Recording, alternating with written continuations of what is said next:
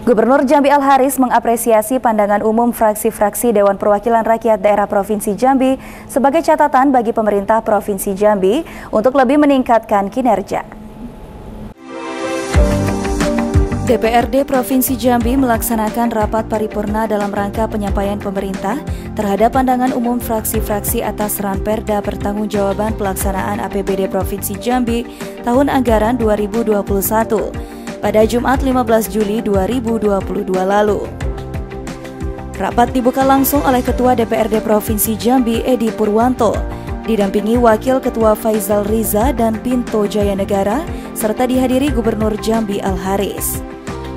Dalam kesempatannya, Gubernur Jambi Al Haris mengucapkan terima kasih pada setiap fraksi yang telah mengajak untuk bergandengan tangan Berpikir bersama dalam rangka meningkatkan kemandirian Provinsi Jambi dari sisi penggalian potensi penerimaan daerah, sehingga ke depannya semua pembangunan di Provinsi Jambi akan lebih baik lagi. Al Haris juga mengapresiasi pandangan umum fraksi-fraksi Dewan Perwakilan Rakyat Daerah Provinsi Jambi sebagai catatan bagi pemerintah Provinsi Jambi untuk lebih meningkatkan kinerja. Lebih lanjut, Al Haris menuturkan, pemerintah Provinsi Jambi sebagai pelaku pembangunan dan DPRD Provinsi Jambi sebagai pengawas anggaran dengan tujuan yang sama yaitu membuat pembangunan menjadi lebih baik dan terarah, tepat sasaran sesuai dengan harapan masyarakat. Semua adalah hal yang kita anggap penting untuk bahan diskusi kita dengan Dewan.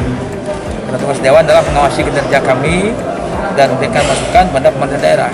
Dan kami juga mencoba untuk menjawab uh, agar ini terjadi suatu kesatuan uh, yang baik antara tugas kami selaku pemerintah dalam proporsional uh, dan dana keuangan negara ini dan tugas dewan juga fungsinya mengawasi daripada dana ini.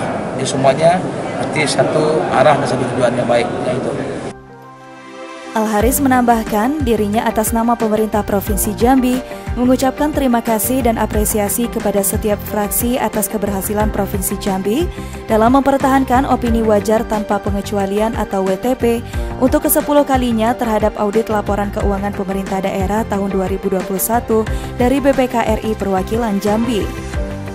Keberhasilan ini merupakan keberhasilan bersama atas dukungan dan kerjasama antara pihak eksekutif dan legislatif, mulai dari proses perencanaan, penganggaran, pelaksanaan dan pelaporan APBD.